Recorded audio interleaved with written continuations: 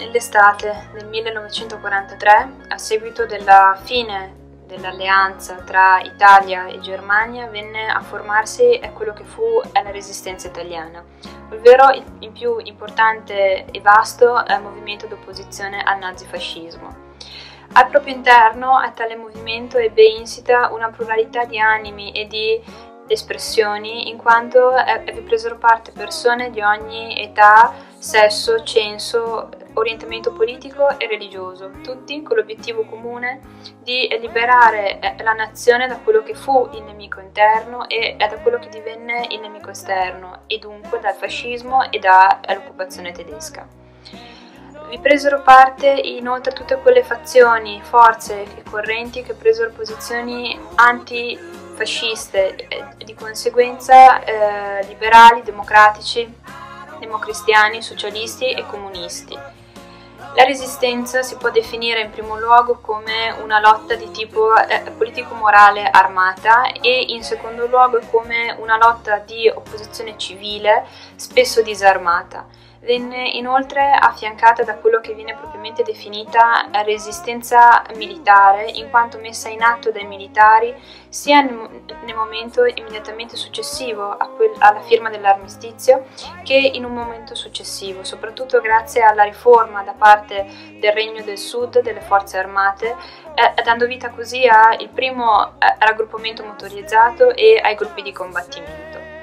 I tedeschi, in seguito alla firma dell'armistizio, a causa della sproporzione che era a loro favorevole tra le proprie forze e, e tra quelle italiane, cominciarono a depredare, derubare, sequestrare beni sul suolo italiano e compirono eh, numerose stragi di civili e arrestarono circa 800.000 soldati italiani, il ruolo dei quali fu fondamentale in quanto questi venendo in seguito deportati nei lager con strenuo valore morale ed etico, riuscirono a mettere in pratica una eh, resistenza disarmata eh, rifiutando di eh, non aderire mai al Reich e dunque di ostacolare eh, l'avanzata del nemico dall'interno.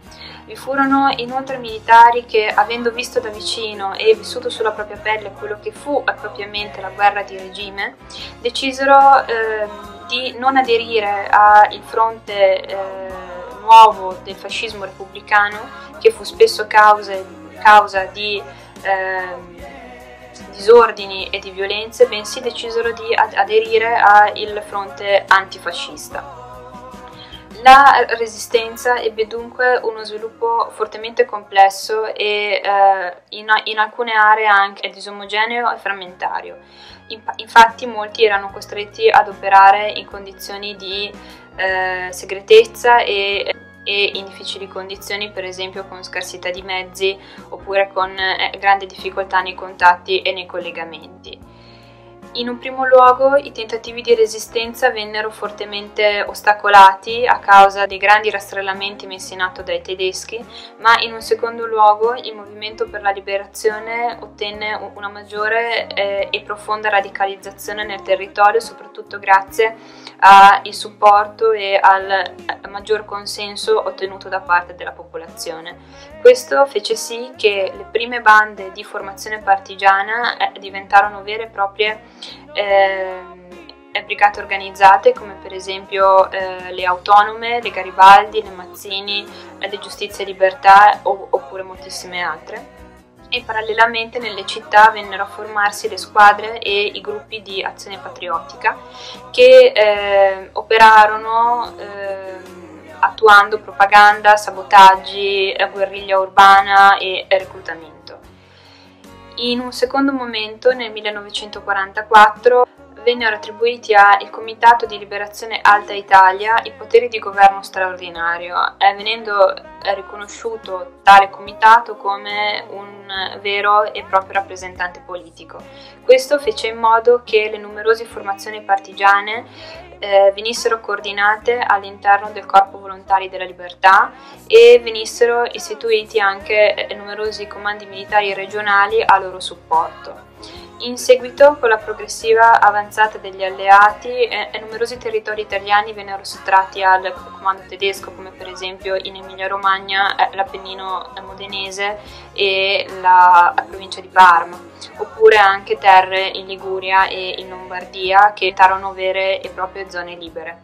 Questo però dall'altro lato comportò eh, lo scatenamento di violente offensive tedesche che obbligarono i partigiani a, ad abbandonare le proprie valli e i, i, i, propri paesi, in quanto questi vennero presi fortemente di mira, specialmente tra il 44 e il 45, anche sulle montagne. Infine, nella primavera del 1945, eh, il movimento per la liberazione riuscì a tornare eh, nel pieno vigore delle proprie forze e, e grazie anche al supporto degli alleati, in particolar modo grazie al, rifornimento di armi messo a disposizione da questi, eh, il 25 aprile 1945 eh, riuscirono in seguito allo sfondamento della linea gotica e alla, ehm, all'unione dei corpi di combattimento locale, riuscirono a, a liberare il nord Italia dall'occupazione nazifascista.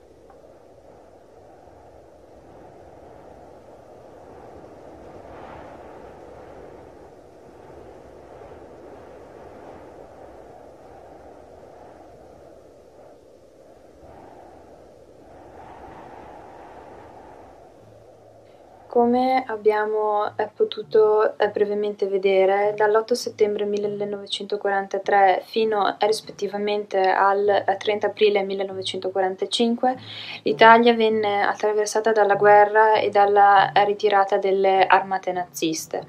A sud vi erano gli alleati, mentre a nord vi erano i tedeschi e i repubblichini di Salò.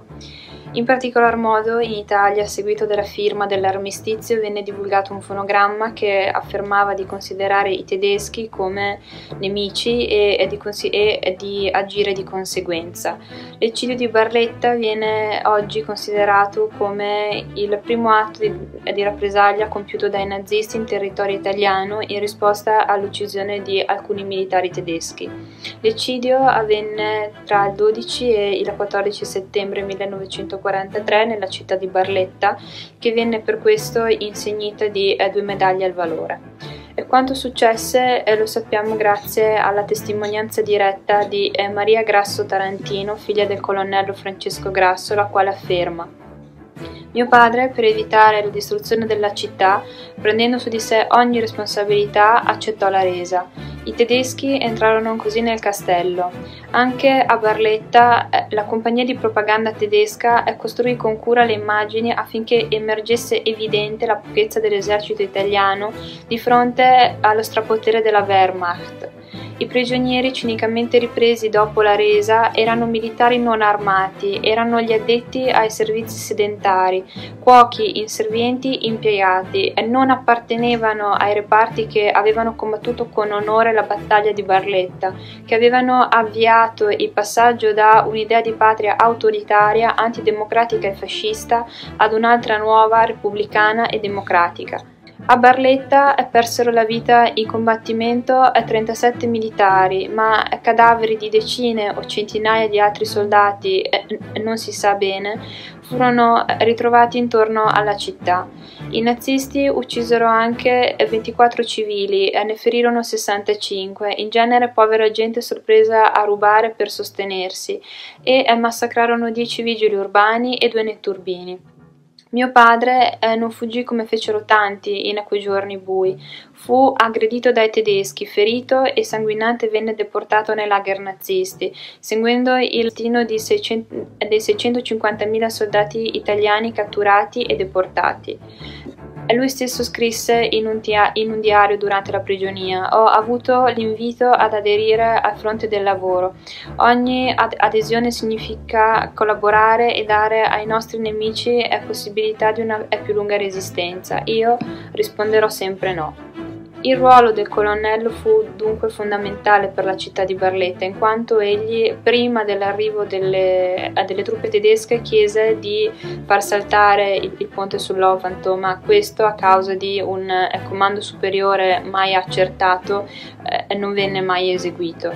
In seguito all'avanzare delle truppe tedesche chiese anche supporto al, al comando militare di Bari, ma purtroppo la sua richiesta d'aiuto venne... Ehm, velocemente liquidata chiedendogli espressamente una relazione scritta sulla situazione e sulle circostanze, ma eh, purtroppo per questo non vi era tempo. Inoltre ehm, fu un uomo che per salvare la città decise di accettare la resa e, uh, e non aderire mai al fronte nemico, eh, portando avanti la sua resistenza senza armi fino a luglio del 1945 quando venne eh, liberato all'interno del lager in cui era stato deportato. Al colonnello è stata dedicata anche una via poco fuori dal centro della città di Barletta che per, i, che per le persone del luogo ha una valenza fortemente significativa, tanto quanto ce l'ha il, il monumento ai caduti nei pressi del quale sul lato sinistro delle poste vennero in seguito ad essere stati perquisiti e appositamente fotografati da un generale tedesco vennero fucilati i dieci vigili urbani insieme ai due netturbini rispettivamente vennero fucilati con tre raffiche di mitragliatrice, una prima al petto, una seconda alle gambe ed una terza sull'intero gruppo. Eh, nel settembre del 2001 venne identificato come colpevole dell'eccidio il, il maggiore Kurt Gossenheim, comandante del secondo battaglione primo reggimento primo a, di, a, divisione di paracadutisti, morto precedentemente il 26 marzo 1996. Venne anche individuato come presente, grazie ad alcune fotografie, il comandante del primo reggimento, tenente colonnello Walter Gericke fotografie che vennero esibite come prova dalla stessa figlia del colonnello Grasso presso il Tribunale Militare di Bari, ma che purtroppo eh, vennero vergognosamente ignorate.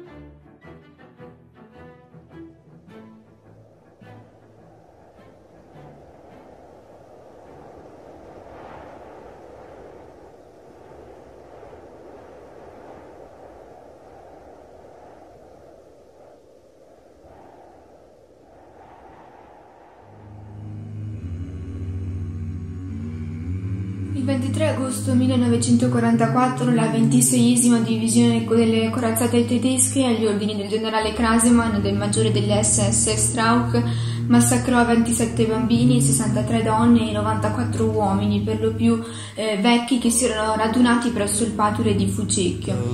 Questa è un'area paludosa che si trova in Toscana, la regione che fu maggiormente colpita dalle stragi nazifasciste e coinvolge nello specifico le province di eh, Pisa, Prato, Lucca, Pistoia e Firenze. Nell'estate del 44, per sfuggire ai bombardamenti e ai rastrellamenti dei tedeschi, erano state molte le famiglie, fra esse anche qualche partigiano, che eh, pensarono di eh, sfuggire e di radunarsi eh, in questo territorio, considerato sicuro perché lontano dai eh, centri abitati.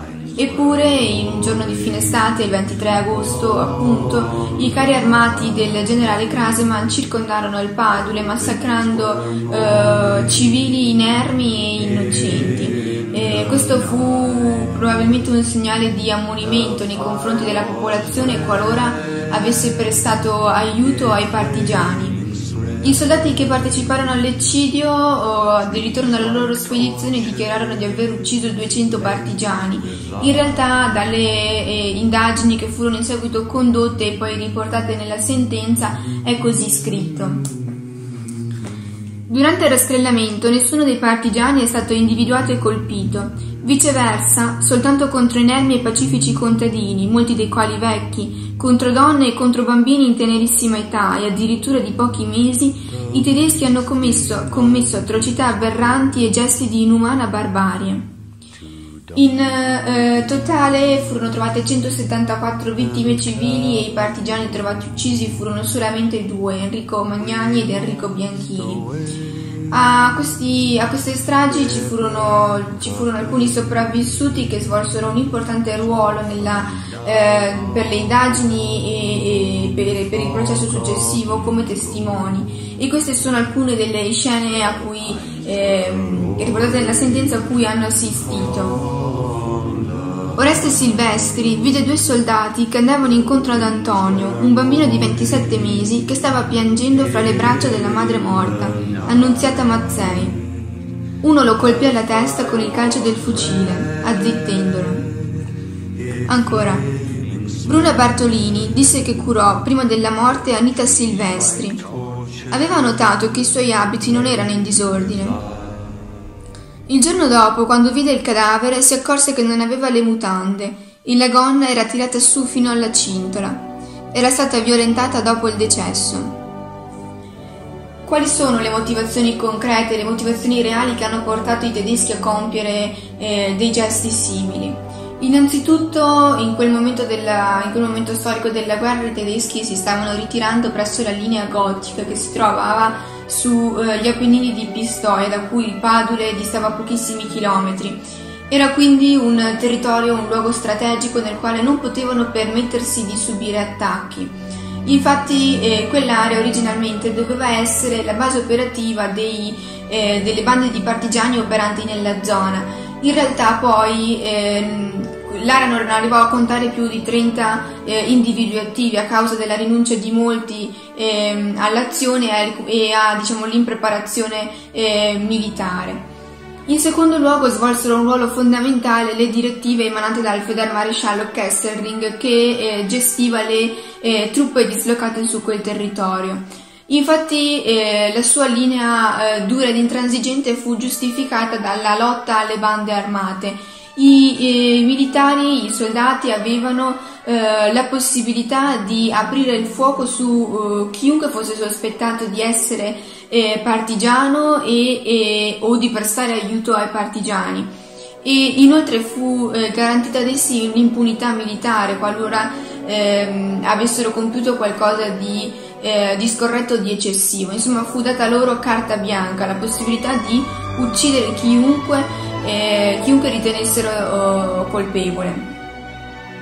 Sulla strage, al termine della guerra, furono aperte due commissioni di inchiesta, una ad opera degli Stati Uniti d'America e eh, una della Gran Bretagna. Quest'ultima fu eh, particolarmente accurata, aprì infatti una sezione investigativa speciale per eh, indagare sui eh, crimini commessi dalla Wehrmacht eh, sulla popolazione italiana durante eh, la Seconda Guerra Mondiale. E ecco quindi che Edmondson, l'incaricato del War Office di Londra, a partire dal 5 febbraio del 1945 avviò un'importante raccolta di eh, documenti, indagini, testimonianze eh, che eh, portarono a costituire successivamente a Venezia il eh, processo che avrebbe dovuto vedere condannati i più importanti criminali di guerra, in totale 45.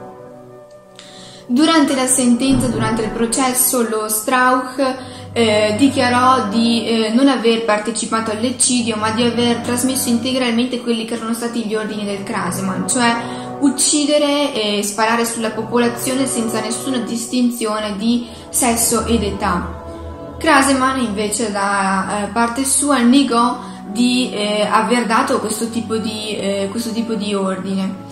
In realtà le indagini condotte eh, rivelano un comportamento simile in tutti i eh, reparti, in tutte le truppe dislocate in quel territorio e eh, facendo pensare quindi, provando quindi che ehm, l'ordine eh, fu dato dall'alto e quindi appunto da Kraseman e eh, al di sopra di esso vi era naturalmente Kesselring.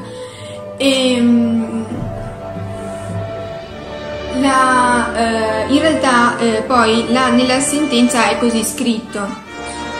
Dispone l'articolo 40 del codice penale militare all'ultimo comma che rispone del fatto anche il militare che ha eseguito l'ordine quando l'esecuzione di questo costituisce manifestamente reato. Nella fattispecie lo Strauch ha dato integrale esecuzione all'ordine manifestamente criminoso del Kraseman e che tale attività fosse stata volontaria e cosciente non c'è minimamente da dubitarne.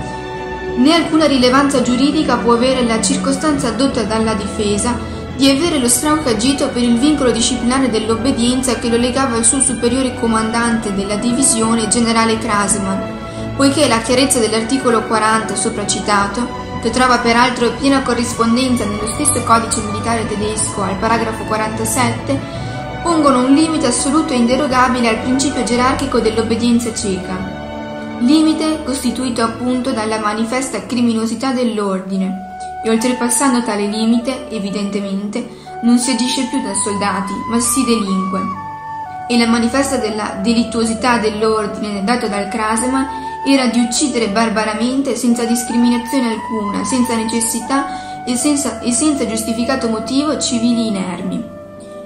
In totale gli anni, eh, la condanna avrebbe dovuto prevedere 27 anni di eh, carcere, ma furono prese in considerazione numerose attenuanti, ecco quelle riportate eh, nel processo. Per gli atti di valore e le relative decorazioni riportate dal giudicabile nel corso della guerra che la Germania ha combattuto durante l'alleanza con l'Italia. L'attenuante è perché si ravvisa nella specie che l'imputato ha dato integrale esecuzione agli ordini ricevuti per eccesso di zelo. Un'altra attenuante trova fondamento nel particolare stato di esasperazione d'animo del giudicando e degli altri tedeschi presi di mira dai partigiani. E infine, non si può non riconoscere che l'imputato, dopo l'azione, si è adoperato spontaneamente ed efficacemente per l'invio di soccorsi sanitari. Insomma, gli anni da 27 che avrebbero dovuto essere ben presto diminuirono a 6 e successivamente a, ehm, a 3. Kesselring invece eh, ritenuto colpevole perché eh, fu eh, evidente che gli ordini erano stati imposti dall'alto, eh, inizialmente fu condannato alla fucilazione. In seguito oh, oh, fu, oh, la spina fu cambiata in 21 anni di carcere e con una declaratoria del 1952 venne addirittura scarcerato per le sue condizioni di salute. Un eh, effettivo riconoscimento le vittime di questa strage lo ebbero solamente nei primi anni del 2000, quando l'allora Presidente della Repubblica, Carlo Zaglio Ciampi, eh, inaugurò a Castelmartini e presso il Padule del Fucecchio eh, dei monumenti commemorativi per eh, le vittime eh, di, eh, di questa strage. Questa, mm, questa, vicenda si trova insieme a molte altre raccontata all'interno di alcuni fascicoli rinchiusi per molti anni all'interno di un armadio nel Palazzo Generale della Procura di Roma. Vi sono numerose storie, fra, uh, a, oltre a questa vi è anche quella di Sant'Anna di Stazema, un episodio doloroso, tragico, anche perché i suoi esecutori eh, morirono tutti in libertà prima eh, dell'avvio del processo e quindi le vittime eh, di questa strage non ottennero mai, eh, non videro mai eh, un, un, riconoscimento di una giustizia eh, legale. Nonostante ciò, quando oh, questo fu, scoperta, fu scoperto l'insabbiamento di tutte queste pratiche, il contributo del sindaco del paese e della popolazione per, ehm, per, ricostruire la vicenda e per commemorare queste vittime fu eh, di fondamentale importanza. Contribuirono anche e a, aiutarono anche il, il, giornalista Franco Giustolisi, eh, autore del testo L'armadio della vergogna, che eh, si propone il compito di eh, portare alla luce, di eh, portare ehm, a, all'opinione pubblica, far conoscere all'opinione pubblica queste vicende per poter restituire dignità alle vittime, della, eh, alle vittime di questa eh, strage e per non dimenticarle mai più.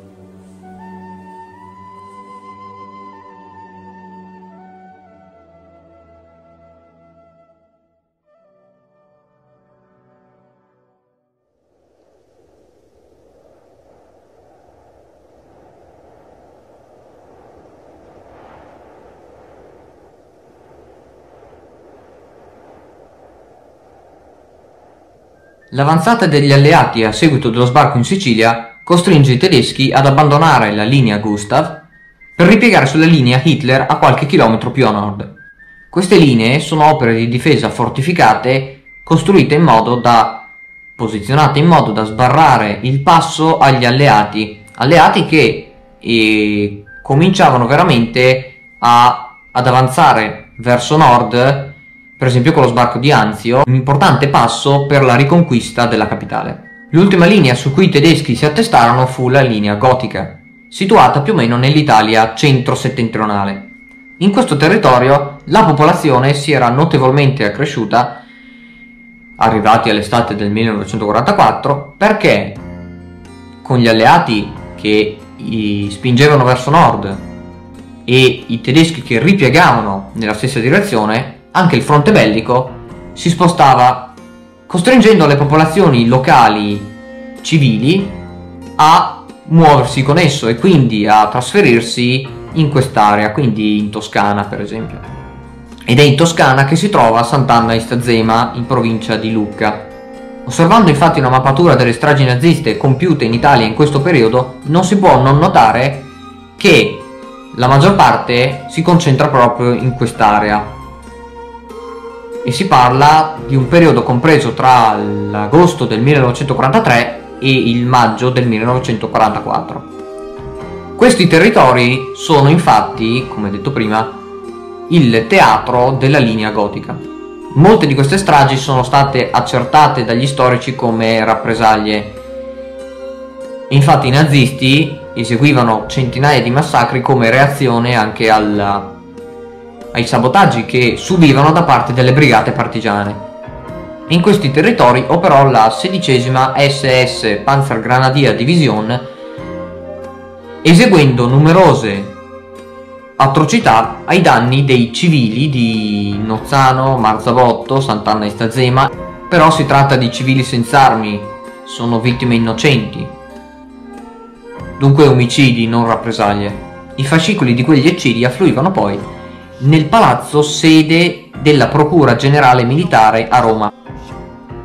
Questi documenti recavano i nomi delle vittime, i nomi dei carnefici e i nomi delle località dei massacri.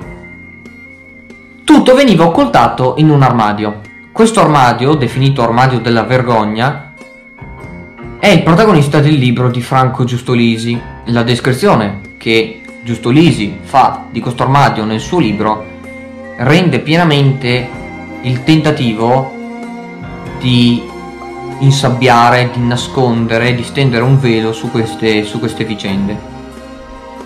La descrizione di quei misfatti, le prove, le testimonianze vennero scoperte per caso mezzo secolo più tardi. Erano nascoste in quel vecchio armadio nella sede della Procura Generale Militare. Lo avevano rifilato in un vano recondito protetto da un cancello con tanto di lucchetto. L'armadio, l'armadio della vergogna, aveva le ante chiuse a chiave rivolte verso il muro. Nascondere, quindi, cercare di non far sapere le cose, ovviamente, significa uccidere ancora quelle persone. E anche qui risiede il senso del ricordo. Certi fatti come si leggono per esempio nel libro, non possono sicuramente essere dimenticati una volta che vengono alla luce, una volta che l'animo di una persona ne viene a conoscenza ed è un impatto sicuramente molto violento e quindi bastano i fatti per ricordare. Noi non, non possiamo restituire alcunché a queste persone, non si non si può fare altro che cercare di conoscere, di conoscere ricordando. Una giustizia storica forse, quella del ricordo, più che una giustizia mm, reale, una giustizia concreta. E questo è quello che possiamo fare, quindi cercare di ricordare per evitare che muoiano ancora quelle persone. Come ho detto, questi fatti parlano da soli. L'unico ricordo è il fatto. E il fatto era contenuto in quei fascicoli, in quell'armadio che per fortuna, eh, anche se con mezzo secolo di ritardo, però per fortuna è venuto alla luce. Adesso l'armadio della vergogna non è più lì, forse rimosso, forse distrutto, incolpevole scrigno di così pesanti segreti. Rimosso o distrutto forse per annullare un passato che la memoria degli uomini non può e non deve annullare.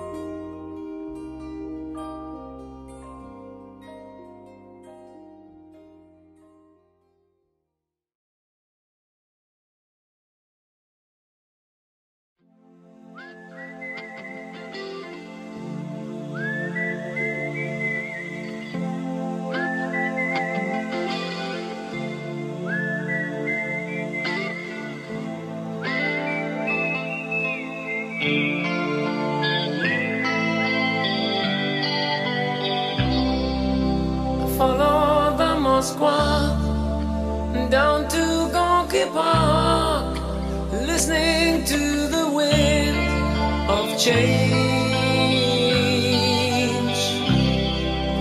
An August summer night, soldiers passing by, listening to the wind of change.